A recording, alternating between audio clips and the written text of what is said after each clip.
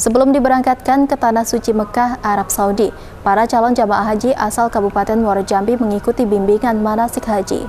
Para CJH dibekali materi, syarat, serta rukun dalam menjalani ibadah haji, sehingga mampu melaksanakan haji secara baik dan mandiri. Dalam bimbingan manasik ini, petugas dari Kanwil Kemenak Provinsi dan Kemenak Kabupaten memberikan pembekalan tentang pelaksanaan ibadah dan memperkenalkan petugas haji yang nantinya akan membantu jemaah di Tanah Suci. Selain diberikan bimbingan, para jemaah juga diberikan imbauan agar tetap menjaga kesehatan selama di Tanah Suci nantinya. 146 calon jemaah haji yang mengikuti manasik ini telah siap diberangkatkan ke Mekah, Arab Saudi.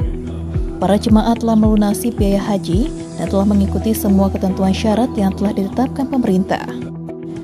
Ya semoga ta, uh, haji tahun 2023 berjalan dengan lancar, dengan lancar sesuai dengan rencana, tidak ada hambatan dan semua diberi kesehatan. Nasik tingkat kecamatan, tingkat kabupaten sudah semua, tinggal menunggu pelepasan dari Bapak Bupati.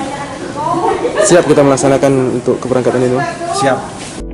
Para calon jemaah haji berharap masyarakat dapat mendoakan perjalanan mereka menuju Tanah Suci Mekah dengan selamat dan dapat menjalankan semua rangkaian ibadah haji. Sebelum diberangkatkan ke Arab Saudi, para calon tamu Allah ini telah melakukan berbagai persiapan agar dapat menunaikan rukun Islam yang kelima dengan baik.